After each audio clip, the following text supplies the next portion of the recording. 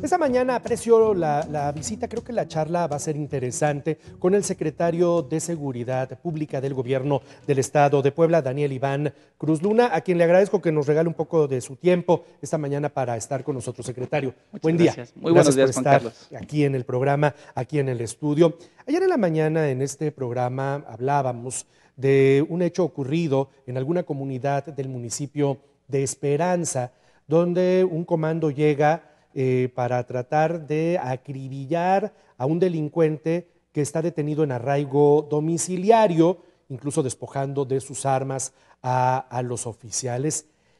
El secretario hoy, entre otras cosas, viene a platicarnos justamente acerca de esta historia y a precisar algunos datos que presentamos ayer en este programa. Juan Carlos, muchísimas gracias, muy buenos días por la invitación, saludo a tu auditorio. Sí, precisamente nosotros tuvimos eh, registro de ello el pasado lunes. Nosotros este, vivimos en un Estado de Derecho, la Secretaría de Seguridad Pública es, forma parte de esta estructura de gobierno en donde pues, bueno, nosotros tenemos funciones y atribuciones en específico. En este, dentro de esas atribuciones está el, poder cumplimentar las órdenes judiciales. Hubo un cambio de medida cautelar dentro de un proceso penal de un imputado que estaba este, siendo procesado o estaba siendo ya, me parece que ya estaba en etapa de juicio, y ya era acusado de manera formal por un delito de, de secuestro y bajo un esquema, un esquema judicial ordenan el cambio de medida cautelar, estaba bajo la prisión preventiva, ordenan un resguardo domiciliario e instruyen a la Secretaría de Seguridad Pública que genere una evaluación de riesgos y, que, y el mismo. ¿Cómo? Con vigilancia.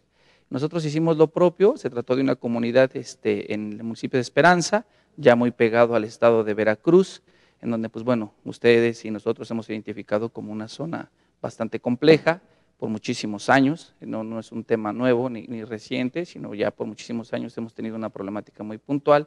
Ahí se ha trabajado fuerte por las autoridades federales, estatales, municipales, pero pues bueno, tenemos ese tema. Se autorizó un domicilio en específico, en el domicilio que nos instruyeron, ahí se trasladó al imputado, se puso una vigilancia de manera muy puntual, y pues nosotros tenemos esta evaluación de riesgos con nuestro estado de fuerza, porque continuamos los operativos en esa región y otras.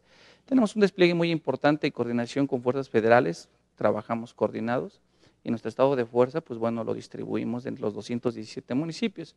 En este domicilio en particular había dos unidades, cuatro elementos, y pues bueno, por la distancia y la lejanía, pues ellos tienen que hacer actividades propias de su higiene personal, de irse a bañar, ir a comer, van por los alimentos, y pues bueno, fueron a la base de operaciones. Eh, tres de ellos, cuando van en el transcurso, eh, son interceptados por un grupo de personas. Eh, mencionan los compañeros que ven diversas camionetas. En una primera instancia nos señalan cuántas ven, los interceptan, logran este, controlar a los compañeros, los desapoderan de sus armas y posteriormente regresan al domicilio ya con la unidad oficial de la, de la Secretaría a bordo con, con personas. Y de acuerdo al parte informativo de la persona que se quedó en resguardo, porque esta dinámica la venían haciendo ya unos días con anterioridad, desde que se estaba cumpliendo esta vigilancia, y este, él observa que viene la unidad y que vienen gente, gente civil. Él se percata que son bastantes personas armadas, no precisa él la cantidad, solo menciona que son de tres a cuatro vehículos, contando la patrulla, y pues bueno, entonces es cuando se bajan, pues obviamente superado el número, el policía pues bueno, opta por, por ceder, en ese mismo momento hacen a un lado al policía, ingresan, hacen detonaciones y pues simplemente fue directamente el ataque dirigido hacia la persona que estaba siendo este, custodiada, la privan de la vida. Durante la mecánica del hecho se advierte por ahí que también eh, queda en el lugar de los hechos una otra persona más sin vida, se entiende que es del mismo grupo que llegó y que posiblemente por la inexperiencia o por la forma que llevaron a cabo el, el llamado eh, fuego amigo, pues bueno, también lo privaron de la vida y ellos mismos y ahí quedó eh, salió un tema que dentro de estos chalecos que portaban traía una leyenda.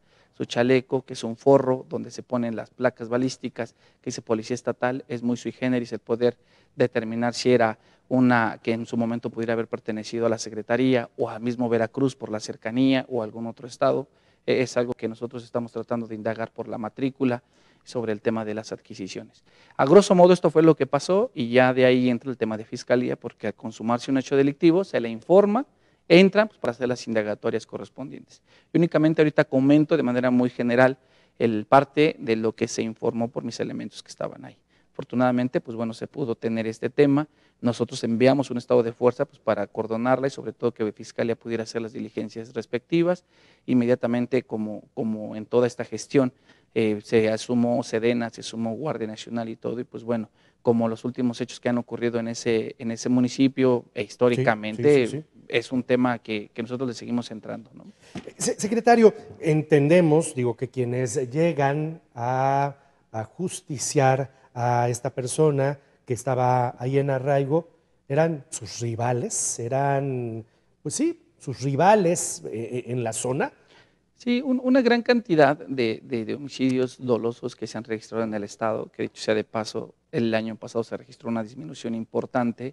Esta disminución es eh, en porcentaje de la, realización de los delitos de homicidios dolosos, tiene que ver por la, la acción del gobierno, identificar y detener a generadores de violencia.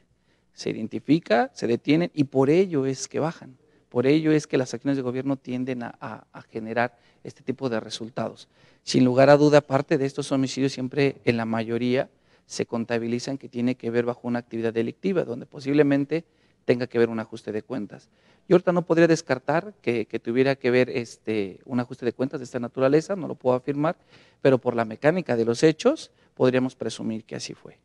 ¿Por qué un juez, digo, sé que no es su área, pero también sé que conoce a fondo de este tema. El secretario de Seguridad Pública del Estado de Puebla tiene una formación profunda en el ámbito legal, en su momento ha estado en el Poder Judicial, viene de la Marina, es decir, le conoce, le conoce al tema bastante bien.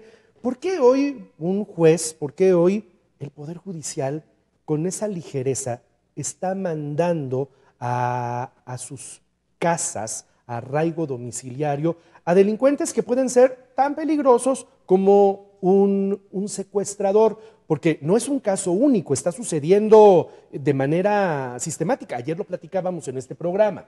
Sí, de hecho eh, el tema tiene mucho que ver con la aplicación de la norma, la aplicación de la ley. Yo me eh, retrocedería un poquito sobre la motivación de la reforma del sistema, entrar al sistema penal acusatorio. Parte de la premisa que fue es eh, cambiar el tema de la prisión de manera como regla, ahora es excepción. Siempre se ha manejado de un tema excepcional, el tema de la prisión preventiva. Eh, constitucionalmente se mantuvo el concepto de prisión preventiva oficiosa. Posteriormente, hace unos años, hace un, corto tiempo, la Corte Interamericana hizo un pronunciamiento muy importante en el cual está siendo analizado también por nuestras autoridades federales, en donde están eh, entrándole a un tema de discusión, si sí quitan o no el tema de la, de la prisión preventiva oficiosa. No obstante, pues bueno, siempre cabe un tema argumentativo que es casuístico, caso por caso se tiene que ver qué fue lo que pasó. Y tendríamos que entrar audiencia por audiencia para analizar el debate, el planteamiento de la defensa, el contraargumento del Ministerio Público y sobre todo la resolución judicial. Entiendo yo que es un, es un esquema sustentado, fundado y motivado, que en su momento, pues bueno, eh, daría pauta para analizar, como te comento, caso por caso. Lo cierto es que existen criterios jurisdiccionales ya muy en específico que abonan posiblemente a estas resoluciones. Eh, eh, ayer platicábamos en este programa y nos decía nuestro asesor en temas legales que a partir de, esta, de este pronunciamiento de la Corte Interamericana de Derechos Humanos, muchos jueces y abogados se valen de este tema y empiezan a mandar a otro tipo de medida cautelar arraigo domiciliario, firma periódica, a otro, a otro esquema, a delincuentes eh, que pueden tener incluso un grado de, peligrosidad. Esto afecta el orden de la seguridad, secretario. Eh, no, no, sé si lo afecte de manera directa. Lo cierto es que este tipo de resoluciones existen y recientemente nosotros hemos recibido mayores custodias en resguardos domiciliarios por orden judicial, en donde, pues bueno, parte de estas custodias es precisamente trasladar bajo una tutela de la Secretaría de Seguridad Pública en un domicilio en específico que fue debatido en audiencia, nosotros no participamos en ellos. No para nada. En algunas cuestiones nos piden hacer una evaluación de riesgos, donde nos dicen, este domicilio, hazle un análisis, va gente especializada de la Secretaría, y bajo ese análisis de riesgos se dice si es viable o no es viable, ¿no? En el esquema primero si existe o no el domicilio. Y bajo este esquema, pues se pronuncian también en audiencia y nos ordenan trasladar a esta persona para mantener este resguardo. Bajo este esquema, nosotros hemos recibido en los últimos meses una cantidad importante de resguardos domiciliares en donde hemos empeñado fuerza en específico. policías y unidades oficiales, no solo estatales, sino también en algunos municipios, y policía procesal. Es lo que le iba a decir. Es decir, eso al final del día sí pega, porque en lugar de tener a policías patrullando calles y carreteras, los tenemos parados afuera de domicilios, cuidando a alguien que fue mandado a su casa por un juez, ¿no? Así es. Y, de hecho, eh, nosotros debemos de, entender nuevamente, eh, pronunciándome respecto a lo que existe en nuestro derecho positivo vigente, es hay un catálogo de medidas cautelares. Claro. Hay un análisis de riesgos procesales que se debaten ahí en audiencia. Y bajo ese análisis, insisto, nosotros no participamos, los mandan a una medida cautelar que puede ser firma periódica, resguardo domiciliario y otras tantas no acercarse a la víctima, no salir de un lugar, no salir del país, no salir del Estado. Hay una figura que vamos a empezar a explorar recientemente en los próximos días que tiene que ver con aparatos electrónicos. Pero eso es para abonar y decirle a las autoridades, miren, nosotros como gobierno del Estado ya contamos con una nueva modalidad para que, pues bueno, se lo ponemos a disposición. Siempre ha existido en el catálogo, pero no teníamos las herramientas y ahorita vamos a empezar a explorar, a meterlas. Son los llamados brazaletes o aparatos que van en los tobillos electrónicos que indican si la persona se sale de un determinado radio, ¿no? Así es. De hecho, nosotros ahorita ya hicimos todas las pruebas tecnológicas, ya hicimos el monitoreo, ya hay gente especializada ahorita ya para lista para empezar el monitoreo. Estamos afinando unos aspectos, ya hemos tenido conversaciones con fiscalía y con tribunal y vamos a empezar a ponerlos a disposición de manera gradual de manera gradual, ellos van a disponer, nosotros no vamos a poner las reglas, ellos van a disponer a qué tipo de imputados son a los que se les va a implementar. ¿Qué es lo que tiene esta, este tipo de brazaletes? Además de la tecnología, vamos a poder ser geocercas, no salirse de un radio en específico, no, no acercarse a un radio en específico y mantener un monitoreo constante. Ya la tecnología nos facilita incluso eh, un alertamiento de si se lo quiere quitar, si ya no tiene pila, poderle llamar por teléfono, poderlo. Eh, eh, nosotros tenemos muchas bondades en donde lo primero que queremos que es permear en la sociedad que existe una nueva modalidad en la cual el Estado, digo, y esto lo digo por el gobernador Sergio, quien nos instruyó a explorar de manera inmediata esto.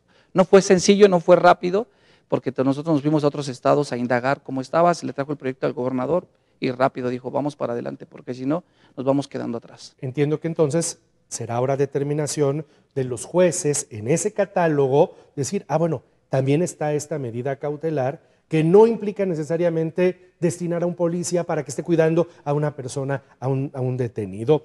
Eh, secretario, termino con esto la charla, que es un tema no menos importante, lo platicábamos temprano en el programa, una reunión interestatal el día de ayer de los estados de la región centro de la República Mexicana, Ciudad de México, Estado de México, Hidalgo, eh, Tlaxcala, Puebla, para tratar de generar estrategias, coordinación y para tratar de frenar sobre todo la incidencia delictiva en torno a vialidades importantes, la México-Puebla, el Arco Norte eh, de Puebla hacia el estado de Veracruz. Sí, de hecho, este, como nosotros lo hemos visto, el gobernador Sergio Salomón se ha eh, caracterizado por tener una excelente comunicación, no solo con el gobierno federal, sino con distintos homólogos de distintos estados, sobre todo los con los que tenemos este, vecindad.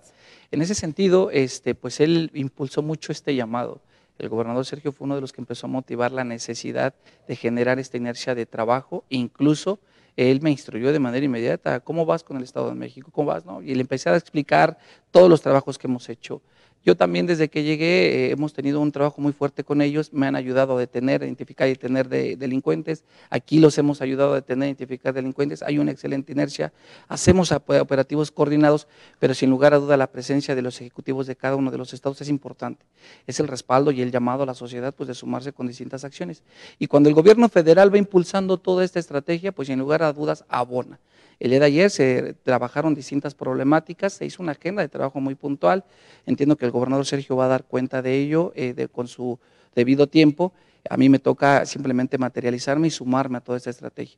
Lo que, de lo que sí estoy seguro es que seguiremos trabajando de la mano con Sedena, Guardia Nacional, nuestra eh, fuerza estatal, algunos municipios, y ya tendremos más cercanía con el tema de los demás estados. Entre ellos eh, va a empatar el tema del plan Centinela, que a próximos días estaremos ya dándole el banderazo final. La presencia de la, Marina. Eh, no, plan Centinela tiene que ver con el tema de tecnologías. Ah, claro, tecnologías. Recuperación de arcos de seguridad y algunos calles que tienen que ver con el 911.